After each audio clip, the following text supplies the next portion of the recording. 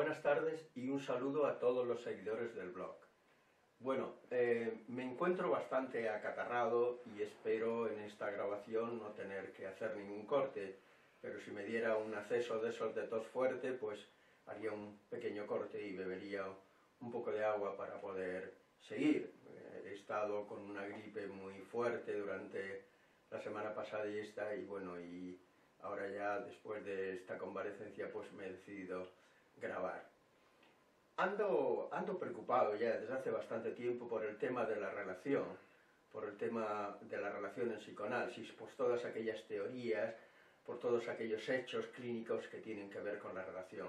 Y hoy quería hablarles un poco de esto. Todo empezó, todo empezó pensando eh, en una paciente, una señora, que eh, se encuentra a un hombre y se enamora de él, en ese enamoramiento, eh, en ese enamoramiento todo lo ve maravilloso, como suele ocurrir muchas veces en los procesos de enamoramiento. Una cosa son los procesos de enamoramiento y otra cosa son los procesos de, de conocimiento, son dos cosas diferentes. En los procesos de enamoramiento normalmente se sobreestima la figura de la persona de quien se, uno se enamora, sea un hombre o una mujer, y muchas veces eh, son procesos en los cuales también se oculta de alguna forma, de una forma más o menos consciente, todos aquellos problemas, defectos, insuficiencias que uno tiene eh, y, que, después dan la cara en esa relación. En este caso, esta relación que empieza por un gran enamoramiento, eh, estas dos personas se casan y, esa convivencia juntos hace que se desenmascare, que aparezca la forma real de cada uno de ellos. De ellos.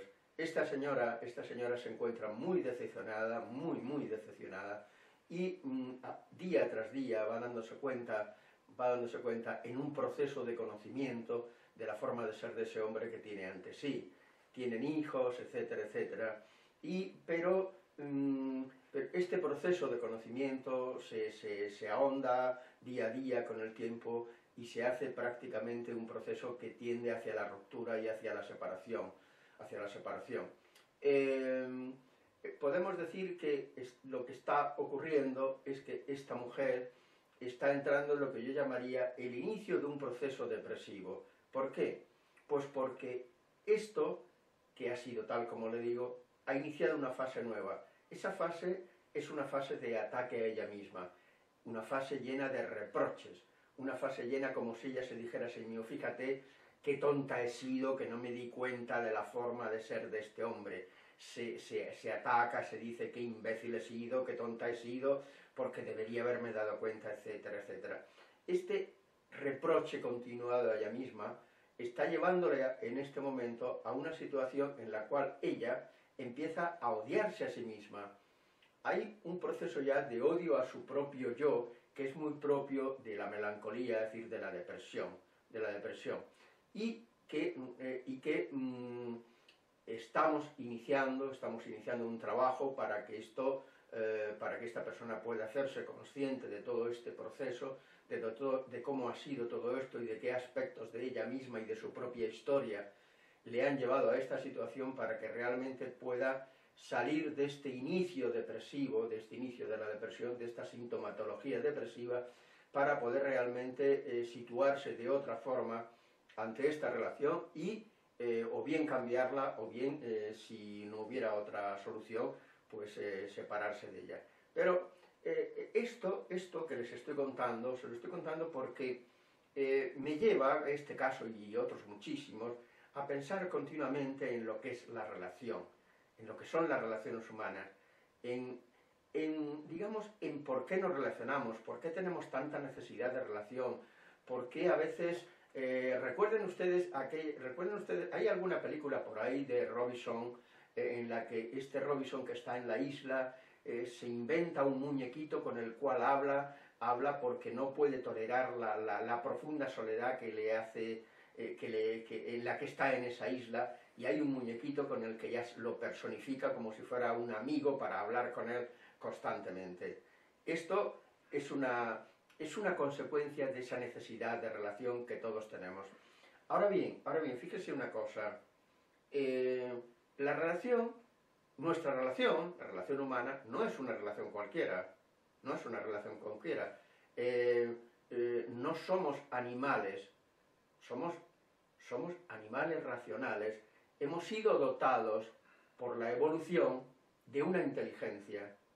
¿Qué quiere decir esto? Esto que a veces lo decimos así de pasada, de corrida, es algo tremendamente importante para nosotros en nuestra historia como, como especie y como individuos, porque esa inteligencia de la que el proceso evolutivo, llega un momento en el proceso evolutivo en la que el nivel de cerebralización, la complejidad de nuestro cerebro, produce una inteligencia, crea una inteligencia, y, a partir de ahí, a partir de ahí nuestra relación con el mundo, nuestra relación con los demás, con nuestro entorno, es muy diferente a la de las demás especies, porque no solamente tenemos necesidad de relacionarnos para satisfacer a través de esa relación nuestra sexualidad o, obtener aquellas cosas que necesitamos de la naturaleza o tener una relación con nuestros congéneres como puede ser cualquier clase de, cualquier clase de, antropoides o cualquier o, los leones o las cebras o cualquier otra,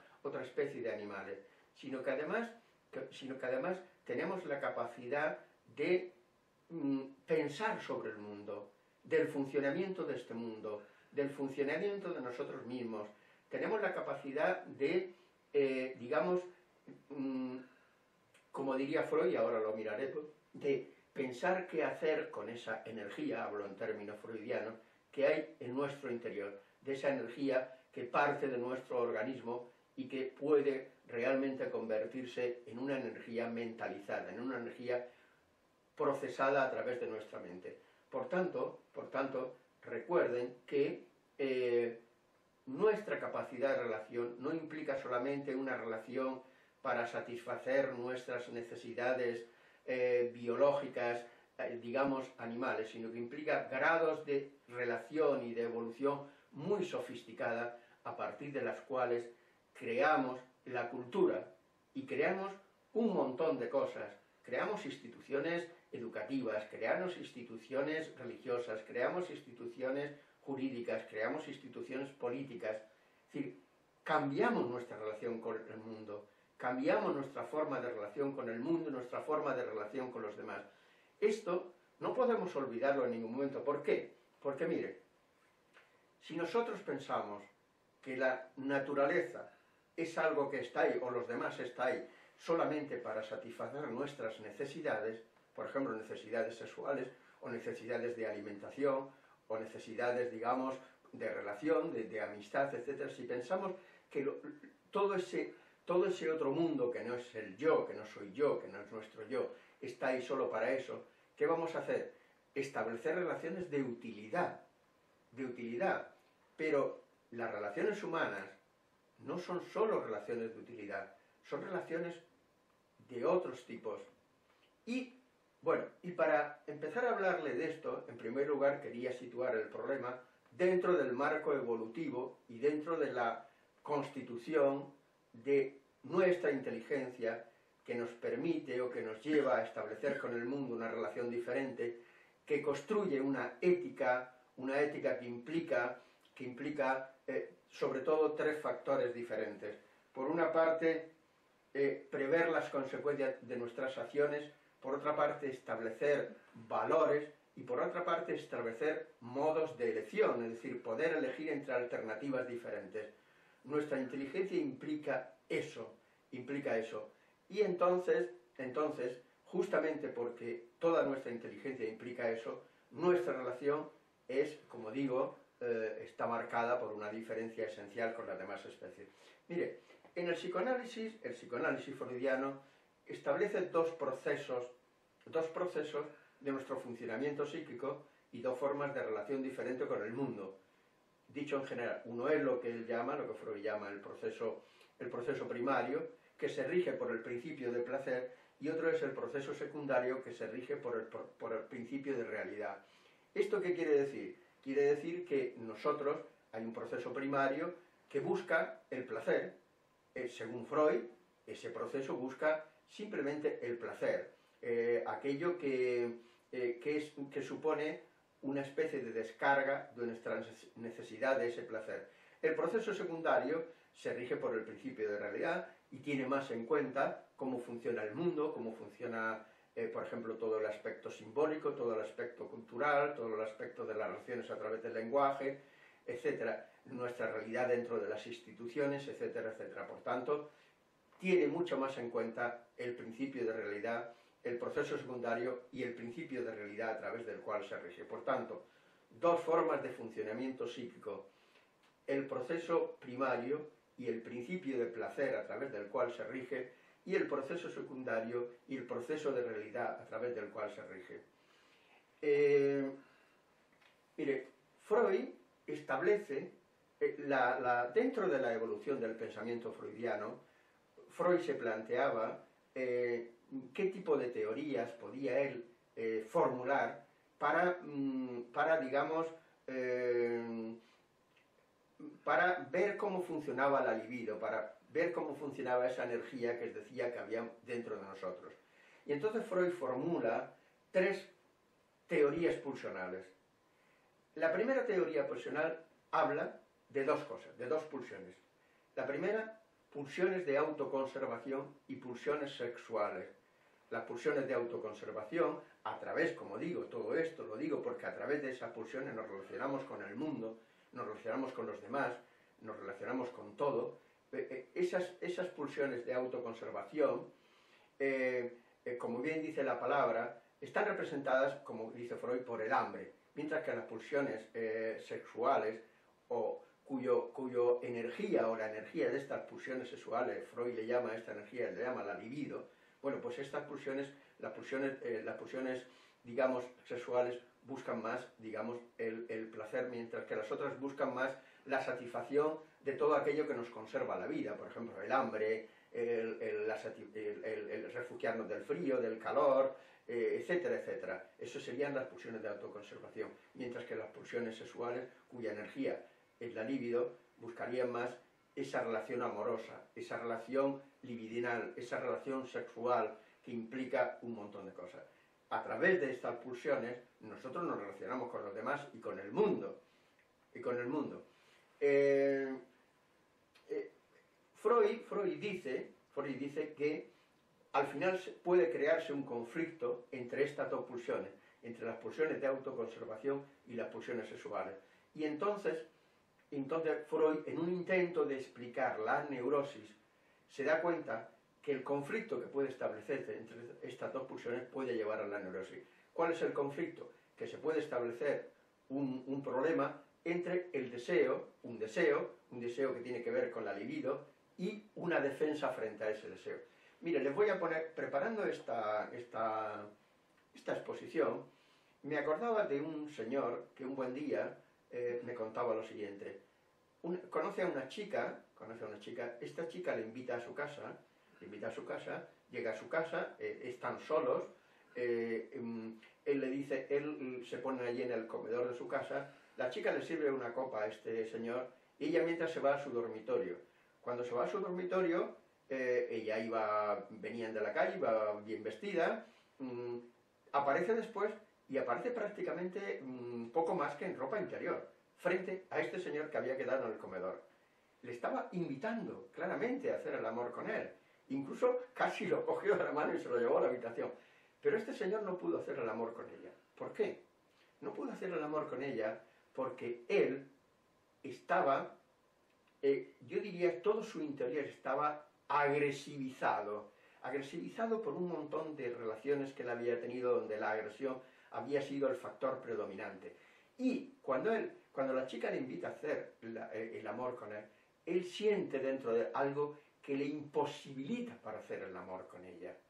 Es como que siente que si hace el amor con aquella mujer, como que lleva dentro ahí una bomba que puede explotar, una bomba de odio y de venganza y de rabia.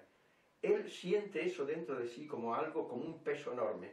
Y esto hace que él no pueda a pesar de que la chica se lo pone fácil, muy fácil, para hacer el amor con él. Y realmente no lo hizo, y realmente no lo hizo. Fíjese como una violencia sentida dentro de él con tal intensidad eh, eh, que en otros casos, en otros casos diferentes a este, habría llevado a esa persona a hacer el amor con, con esta chica, aunque hubiera sido de una forma agresiva, agresiva no quiere decir eh, extremadamente violenta, em, lo hubiera hecho, pero en este caso no pudo ser. Bien, entonces fíjese cómo aquí se establece un conflicto entre el deseo que procede de la libido, de la pulsión sexual, y esta defensa que no le deja, que no deja que ese deseo se precipite, se exteriorice, se realice con esa chica, con esa chica, a pesar de darse todas las circunstancias necesarias para que aquello pueda realizarse. Bien, entonces fíjese que aquí Freud nos habla de dos pulsiones, las pulsiones de autoconservación, cuyas, eh, cuya representante podía ser el hambre y todo aquello que tiene que ver con la conservación de la especie, todas aquellas necesidades que tenemos que cubrir para que se conserve la especie, y luego las pulsiones sexuales que se rigen más por el placer que por el principio de realidad, como he dicho antes. Como he dicho antes. E, esto es lo que Freud dice, y a través de estas, fíjese la cantidad de relaciones que establecemos con el mundo, con los demás, a través de estas dos pulsiones formuladas de una forma freudiana, tanto de las pulsiones de autoconservación, realizamos cada día montones de actividades y montones de cosas para tener lo necesario para subsistir, para vivir, para vivir.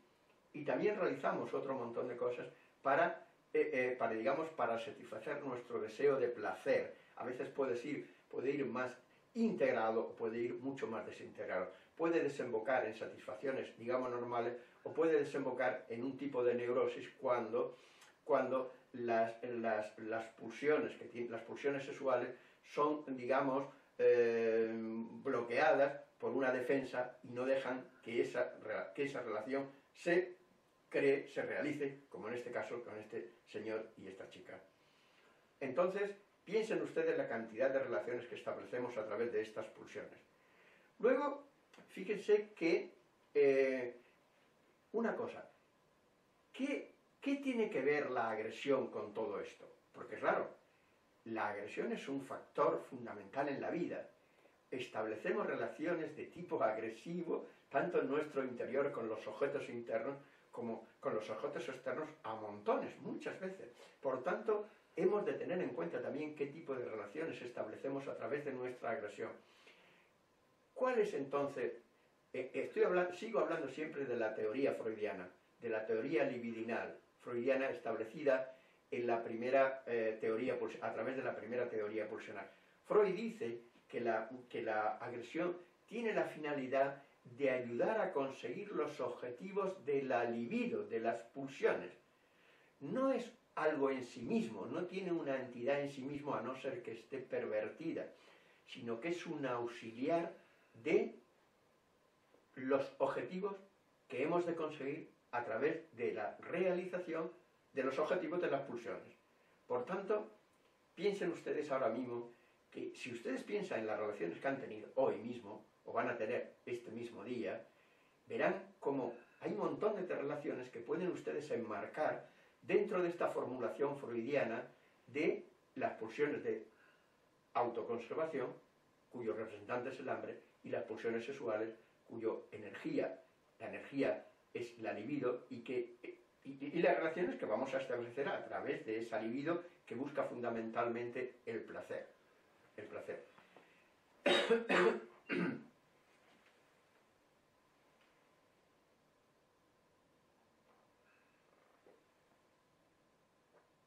Mire, la teoría de Freud, la teoría de Freud parte, sobre todo, de un, eh, de un, del organismo parte del organismo en el sentido más quimiofísico o físico-químico de la palabra.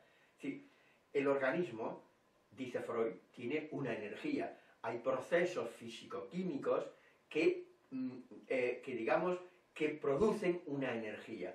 Ahora bien, Freud lo que intenta es decirnos qué pasa con esa energía. Es como si hubiera, es como si nuestro organismo fuera como una especie de central eléctrica y la central eléctrica produjera mm, eh, tantos kilovatios, eh, etcétera, y ver luego qué pasa con, toda esa producción de energía que ha hecho esa central eléctrica y que ha hecho nuestro organismo. Entonces, eh, mm, e-, Esto es importante. Freud parte de esa energía y dice que cuando esa energía dentro de nuestro organismo es alta, es una energía elevada, se produce un displacer. Por ejemplo, un niño tiene hambre, tiene hambre y, hay, y empieza a haber una excitación interior en su, digamos, en sus órganos y entonces produce una reacción, una reacción, por ejemplo, el llanto. Un niño llora y la mamá dice, la mamá le dice, espérate que te voy a hacer la comida, ¿no? Y el niño llora porque tiene hambre. Digamos que su nivel de displacer ha llegado a un punto, a un umbral, que le produce un dolor. Y Freud dice que nuestro organismo funciona eh, eh, encontrando un objeto, encontrando un objeto que satisfaga esa pulsión, ese deseo que nace en nuestro organismo, para volver al organismo a, una especie de equilibrio, a una especie de homeostasis, eh, homeostasis y por tanto ese displacer se torne en placer, se torne en satisfacción y el organismo queda en un umbral, digamos, de tensión, de tensión mucho más bajo, mucho más adecuado, mucho más placentero, que no produzca dolor. Esto es una cosa que dice Freud en relación a cómo, a cómo funciona parte del organismo, parte del organismo. Pero fíjese, hay una cosa que decimos en psicoanálisis, que Freud dice ya, y que es algo importantísimo, y es lo siguiente, es lo siguiente, esa energía, estoy hablando siempre en términos freudianos, esa energía es una energía que parte, según dice Freud, parte de nuestro organismo, pero llega a nuestra mente, es mentalizada, es lo que llamamos la pulsión. La pulsión no es lo mismo que el instinto, porque la pulsión es una, es una energía, es, una, es un, digamos, un proceso interior que nace en el organismo, pero que llega a la mente y la mente lo mentaliza, la mente lo hace consciente, la mente lo recoge y puede pensar sobre él. Por ejemplo, Cualquiera, una persona adulta, puede sentir hambre. El hambre puede ser una sensación orgánica que nace en su estómago, en sus vísceras, en sus órganos, no en su cuerpo, pero que llega a la mente y entonces la persona piensa, bueno, pues tendré que hacer algo para alimentarme, tendré que ganar un dinero para ir a comer, para comprar comida, para etcétera. Todo ese proceso ya no es un proceso orgánico, sino es un proceso de mentalización, de mentalización el, impulso primario, primitivo, que podía ser, que podíamos llamar instinto, ha sido mentalizado y por tanto todo el proceso junto le llamamos pulsión, que implica esa especie de impulso, esa especie de búsqueda, de búsqueda, esa especie el impulso ese tiene una fuente que es nuestro organismo, esa fuente tiende a buscar un objeto que satisfaga ese deseo y que por tanto se cumpla el fin de la pulsión, que es esa satisfacción, y volver el organismo a esa distensión, a ese nivel, a ese umbral placentero de tensión.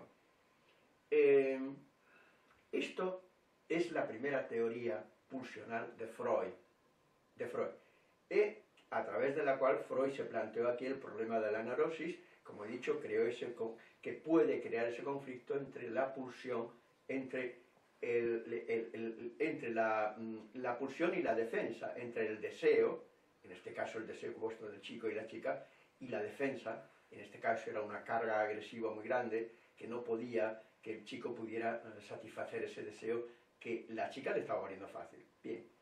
Por tanto, fíjense la cantidad de relaciones que establecemos a partir de estas dos pulsiones. Ahora, demos un paso más. Allá por el año 1914, Freud eh, se planteó un problema, 1914-1915, eh, eh, un problema que fue el problema del narcisismo. Fue cuando escribió su obra Introducción al narcisismo y en el año siguiente escribió la obra Pulsiones y Destino de Pulsiones. Bueno, estas obras le hicieron a él pensar sobre, le hicieron plantearse, replantearse su, su deseo de explicar el funcionamiento de la libido, es decir, de esas energías que se producen en nuestro organismo y que son energías que tienden a la autoconservación o que tienden al placer. Freud se vuelve a plantear este problema y se lo vuelve a plantear a partir de un, digamos, un foco nuevo de investigación, que es el problema de las pulsiones o el problema del narcisismo. Y entonces él se da cuenta de que estas dos pulsiones que él había mm, teorizado, como ya les he dicho, eh, son una sola pulsión, que realmente las dos pulsiones se pueden resumir en una sola. Y es una pulsión que tenga que ver, que descarta o deja, lo incluye todo dentro de la, dentro de la libido, dentro de una teoría de la libido, pero ya un poco dejando aparte o incluyendo dentro de aquí las pulsiones de autoconservación. Y entonces les dice lo siguiente, que la energía que hay en nuestro organismo puede realmente ponerse en el objeto o ponerse en el yo. Mire, a mí siempre me ha interesado mucho y valoro mucho, me gusta mucho más esta segunda teoría de Freud que la primera. Es mucho más útil. Yo la veo mucho más claro en la clínica. En la clínica. ¿Por qué? Porque mire, ¿qué ocurre? Ocurre, imagínese por ejemplo una persona con un trastorno psicótico. ¿Qué ocurre? Ocurre que esta persona, eh, pensemos en una persona que adulta, eh, que porque tiene unos, unos, problemas mentales muy graves, por ejemplo, delirios de tipo persecutorio, no trabaja, recibe una paga, eh, que se siente perseguido cuando va por la calle, que, que, que dicen cosas de él, que le tachan de que es tonto, de que es bobo, de que es imbécil, de etcétera, esto implica un grado de, de, rabia en él inmenso que le hace sufrir enormemente y que trastoca toda la relación con la vida y con los demás y con todo, y con todo. Bueno, pues eh, eh, una persona así, lo que ha pasado es que esa energía, esa libido, no ha podido realmente ponerla en fuera, en las relaciones. Por ejemplo, en haber tenido, por ejemplo, una novia, en haber tenido un trabajo, en haber podido relacionarse bien con sus amigos o con su familia, etc. Sino que la energía ha quedado en el yo, se ha retirado de los objetos, del mundo, de las relaciones, para ponerla en yo. Entonces normalmente puede ser una persona muy aislada, muy introvertida, muy autista, muy ausente, muy, en su interior, en su interior. Eh, mm, ¿Qué ocurre? ¿Qué ocurre? Que esa libido, esa libido que está dentro de él y que tenía que haber tenido un equilibrio entre una libido que hubiera puesto fuera una parte, un 50%, y otro 50% dentro, otro 50% dentro, no ha sido así. Ha quedado un 80% dentro, un 90% y un 20% fuera, con lo cual el desequilibrio es total. Y por tanto, la relación con la vida es, un, es una Mm, implica una patología muy grave. Una patología que puede hacer que esa persona que tenga toda una sintomatología, eh, por, ejemplo, eh, por ejemplo, si todas las frustraciones, todas las humillaciones, todo el maltrato que esta persona ha recibido cuando era un niño, y estoy pensando en un caso concreto, si todo eso ha creado en él un concepto de sí mismo malísimo le ha, hecho, le ha hecho sentir, no pensar, sentir que era tonto, que era bobo, que era imbécil, que no valía para nada, que, que los demás eran todos mejor que él, etcétera, etcétera. Todo esto ha hecho que todo ese malestar y toda esa patología interior no le permita, como digo, poner esa energía fuera e, e investir al mundo, a los demás, las relaciones, de una forma adecuada. Por tanto, por tanto, ¿qué ocurrirá? ocurrirá que, que creará todo un mundo delirante, delirante, delirante, es decir, que construirá teorías, que, teorías o formulaciones patológicas sobre lo que piensan los demás o sobre lo, que, mm, por ejemplo, esto que he dicho, él va por la calle y piensa que y piensa va andando y alguien le mira, mira por lo mismo que podía mirar otra cosa y entonces siente como que esa persona que le mira está pensando que es imbécil, que es tonto, que es un burro, que es un desgraciado. ¿Por qué? Porque como realmente él tiene ese sentimiento de sí mismo debido a esas relaciones primarias, principales, eh, eh, arcaicas de su vida, Eso es lo que él proyecta en ese mundo estéreo, proyecta eso fuera, lo desplaza y lo proyecta y por tanto crea un tipo de relación, un tipo de relación delirante a partir de la cual cree que los demás le están persiguiendo o que están pensando muy mal de él o que están humillándolo, maltratándolo, eh, pensando cosas de él muy, eh, muy negativas, con lo cual él eh, se pone muy, muy, muy agresivo, muy agresivo. Fíjense, fíjense que en este caso en este caso, la violencia. La violencia. He dicho antes que en la primera teoría personal la violencia estaba al servicio del libido, al servicio de, de cumplir los fines de la libido. Es decir, si uno tiene un deseo o quiere conseguir algo, esa fuerza de la agresión la pone al servicio de él mismo para conseguir eso. En este caso, en el caso de la segunda teoría pulsional, de esta energía, de esta división, digamos, esta división de la energía que se pone en el yo, se pone en los objetos, ¿eh? en, este caso, en este caso la agresión puede realmente eh, convertirse en un poder muy, muy, muy, muy destructivo. ¿Por qué? Porque es una agresión que se vuelve contra él, que se vuelve contra él. Por ejemplo, esta persona cuando se siente perseguida, cuando se siente mm, que hablan mal de él, etc., eh, entonces al final tiene un concepto muy negativo de sí mismo y se ataca a sí mismo de una forma despiadada, de una forma enorme. El ataque puede ser de tal grado que hay personas que pueden llegar a un grado, pueden llegar al suicidio, pueden llegar al suicidio porque ya se encuentran prácticamente sin salida, se encuentran tan acorralados por su propia mente, por sus propios delirios, ¿eh? que al final no, tienen, no ven ninguna salida y se quitan la vida. Bien, como ven, a través de esta segunda teoría de la libido, eh, establecemos o se puede establecer toda otro, podemos entender las relaciones con los demás, eh, también las podemos entender mucho mejor. ¿Por qué? Porque o bien, como digo, tomamos esa libido, esa energía que hay dentro de nosotros y la ponemos adecuadamente en el mundo, en las relaciones, en nuestro trabajo, en nuestros amigos, en nuestra familia, o bien, o bien esa energía queda dentro de nosotros porque tenemos dificultad para ponerla fuera y se convierte en una energía que puede ser muy, muy destructiva, muy sadomasoquista y puede producir delirios, eh, delirios a veces de grandeza, porque no solamente persecutorios, pueden estar unidos, los delirios de grandeza y los delirios persecutorios pueden estar unidos, puede ir uno, uno acompañado del otro, uno después del otro, uno antes del otro, etc.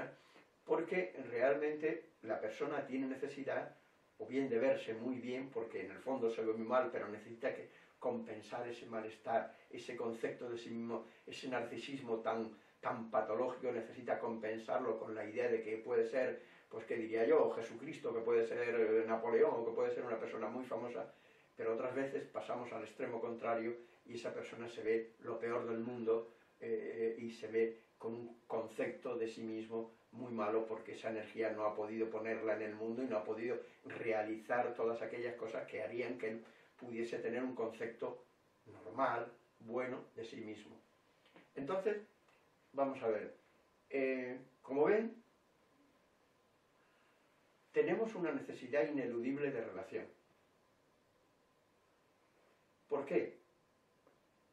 Porque aparte de la necesidad que tenemos como cualquier otra especie animal, somos seres inteligentes. Somos seres dotados de una capacidad cerebral que establece con el mundo una relación distinta a través de la inteligencia. nuestra inteligencia es, es capaz de preguntarse por el sentido, es capaz de crear el pensamiento simbólico, el lenguaje, es capaz de crear instituciones, es capaz de crear relaciones diferentes a las que establecen otras especies. Por tanto, la evolución nos ha dotado de algo maravilloso, que es nuestra inteligencia, a partir de la cual mantenemos relaciones diferentes. Luego, podemos intentar darnos explicaciones teóricas, teóricas, pero teóricas basadas en inferencia, en este caso inferencias clínicas, que nos den teorías para poder explicarnos las relaciones tanto normales como patológicas. Y aquí Freud establece, como he dicho, estas dos teorías. La primera teoría, la que establece que divide, eh, digamos, esa energía que nace en nuestro organismo y que produce el malestar y que luego, una vez hemos, eh, hemos tenido una satisfacción, ese umbral de malestar eh, cede y por tanto se crea un, umbral de, de, menor o un umbral de bienestar y por tanto ya estamos satisfechos, hemos satisfecho esa, esa necesidad, esa energía que se ha convertido en que es algo que nos ha acuciado para satisfacernos y que hemos podido mentalizar.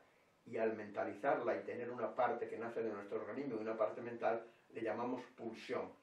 Entonces, a través de todo esto mantenemos un montón de relaciones con el mundo, donde incluye también la agresión, que es una fuerza puesta al servicio de los fines pulsionales. Y luego tenemos la segunda teoría pulsional, que la que divide a la energía en una energía que puede ser puesta en el yo o puede ser puesta en los objetos.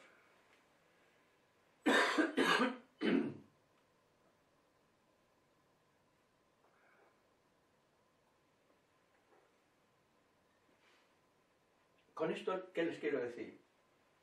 Que esto que les transmito es para que ustedes y yo podamos entender mejor quiénes somos, por qué buscamos las relaciones, qué, qué, eh, eh, eh, cuáles son aquellos poderes, aquella, aquella alma, aquella fuerza interior que nos empuja a buscar relaciones.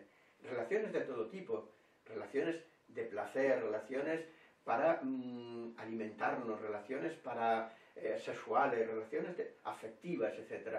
Y con estas dos teorías pulsionales, yo les doy a ustedes una serie de elementos para que ustedes puedan pensar en sus relaciones, en entender sus relaciones, en tener una idea mejor de ustedes mismos y que esto les pueda hacer situarse ante el mundo, ante los demás, ante su vida, de una forma mejor y de una forma más adecuada y más correcta. Y más correcta. Mire, esto que les he dicho hoy, les he hablado en todo momento de dos teorías de Freud. Yo hice tres vídeos, sobre todo los dos primeros, que titulé Los cimientos del alma humana, donde hablaba, hacía una crítica de alguno de estos aspectos de Freud. Como pienso hacer tres vídeos sobre este tema de relación, una trilogía, como hice entonces sobre los cimientos del alma humana, voy a hablarles de otras cosas, en las cuales voy a exponerle también mi pensamiento, que en algunos puntos difiere del de Freud. Hoy les he hablado del pensamiento freudiano fundamentalmente, y voy a hablarle también de otros autores brevemente. Por ejemplo, les quiero hablar, les quiero hablar sobre Víctor Frank y su teoría, les quiero hablar sobre, por ejemplo, sobre Fromm, sobre Eric Fromm, les quiero hablar un poco también sobre Winnicott, les quiero hablar un poco sobre Bio, les quiero hablar un poco también sobre eh, Melanie Klein. Y les quiero hablar también un poco sobre Wolby y su, y, su, y su teoría sobre, eh, sobre el apoyo. Eh, entonces, esto es el inicio, es el primer vídeo de tres vídeos donde le voy a hablar de las relaciones. Hoy les he hablado eh, aún existe otra teoría freudiana de la que hablaré el próximo día un poco, que es la teoría que divide las pulsiones en pulsiones de vida y pulsiones de muerte que Freud crea a partir de 1920 y que de alguna forma sintetiza en esas dos pulsiones todo lo que he dicho hasta ahora, pero hablaré un poco de eso y luego hablaré de otras cosas, hablaré por ejemplo de la posición de estos autores que en algunos casos difiere bastante de la de Freud y que ustedes podrán escuchar para pensar, para reflexionar sobre lo que son las relaciones humanas y para pensar en cómo ustedes se relacionan y analizar un poco su vida. Al fin y al cabo, los vídeos esto no tiene una finalidad de que ustedes piensen que yo sé poco, que sé mucho, que sé... No, la finalidad es, como he dicho tantas veces, darles a ustedes elementos para pensar, para que su vida la entiendan mejor para que su vida sea mejor, para que su relación con el mundo sea mejor y ustedes se cambien a sí mismos y cambien este mundo que tanta falta hace. Nos hace falta cambiar, tenemos que arriesgarnos a cambiar, tenemos que ser valientes, tenemos que estar en un proceso de cambio permanente y constante, en un proceso de transformación y cambio permanente, porque no nacemos seres humanos, nacemos con la posibilidad de convertirnos en seres humanos, pero podemos quedarnos a mitad de camino, a mitad o menos, y entonces nuestra vida, ¿qué será nuestra vida? Pues será una pobre vida. Eh, cuando, cuando nos muramos o antes de morirnos, eh, sería bueno morir al alta y decir, eh, y por lo menos decir, he hecho el esfuerzo necesario para que mi vida tenga dignidad. Yo quiero hacer una psicología y quiero un título que me gusta para la psicología que yo hago, es la psicología de la dignidad. Quiero que la psicología esté al servicio de la dignidad, de la dignidad de cada uno de ustedes y de la dignidad mía, de transitar por este mundo como seres dignos, como seres dignos, que nos podamos mirar al espejo y estar orgullosos de nosotros mismos y que podamos realmente hacer algo para que este mundo evolucione y vaya a mejor.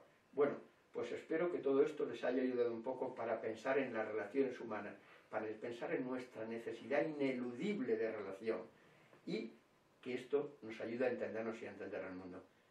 Muchas gracias, gracias a los suscriptores, gracias a todos aquellos que nos envían comunicados, que nos envían correos, eh, yo les pido que participen, eh, les pido que planteen cuestiones, a veces se las podré solucionar mejor o peor, o a veces incluso no podré solucionarlas, pero bueno, algo haremos en ese sentido. Eh, por ejemplo, hace poco me preguntaba una, creo que era una chica argentina, que qué diferencia había entre, entre el psicoanálisis lacaniano y el psicoanálisis freudiano.